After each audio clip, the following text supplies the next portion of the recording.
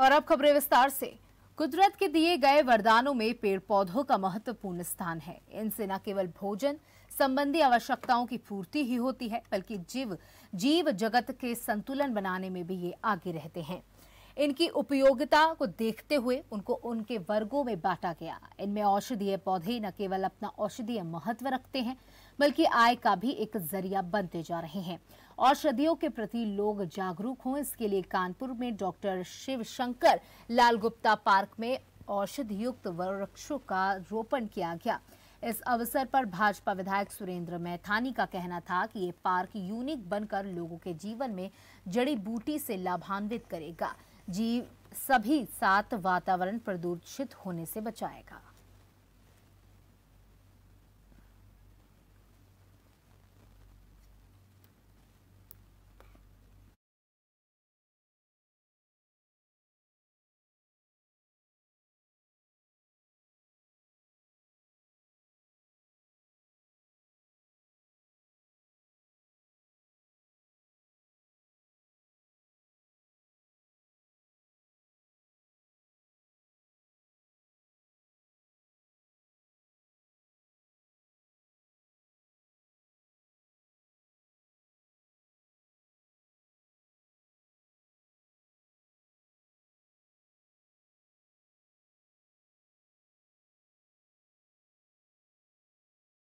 आज का स्वतंत्रता सेनानी उत्तराधिकारी संगठन ने डॉक्टर शिवशंकर लाल गुप्ता स्वतंत्रता सेनानी पार्क घोषित होने के आज इसको गोद ले लिया है।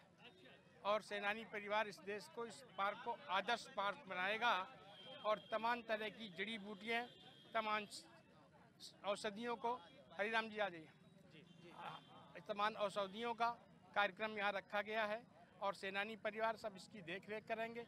एक बहुत आदर्श पार्क के रूप में इसे संगठन विकासित करेगा और क्षेत्र की जनता के लिए आरामदायक, सुविधादायक साफ़ सुथरा एक पार्क हर समय के लिए इसे संबोधित किया जाए। शंकर लाल गुप्ता जी के नाम से, स्वतंत्रता संग्राम सेनानी के नाम से इस पार्क का लोकार्पण हुआ है, समर्पित हुआ है और स्वतंत्रता संग्राम सेनानी जो संगठन बना हुआ है, जिनके परिवार और सेनानियों का, वो संयुक्त रूप से उस संगठन, इस पार्क का पूरा संरक्षण करेगा, इसको पल्लवित करेगा एक नक्षत्र वाटिका का भी।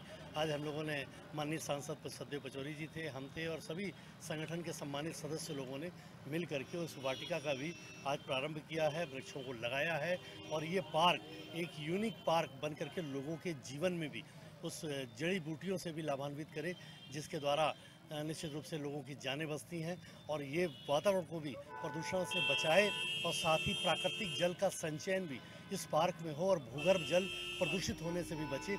इसके लिए इस पार्क को आज डेवलप अगर आपको हमारा वीडियो पसंद आया हो तो हमें लाइक करें सब्सक्राइब करें और ज़्यादा से ज़्यादा शेयर करें। और हाँ बेल आइकॉन दबाना ना भूलें, ताकि हर खबर का अपडेट आप तक पहुँचे तुरंत।